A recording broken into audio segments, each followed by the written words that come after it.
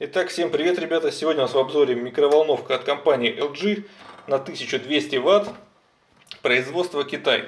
А, значит, здесь управление все кнопочное, как видите. Старт, стоп, плюс-минус вы выставляете время. А, на свече есть быстрый разогрев.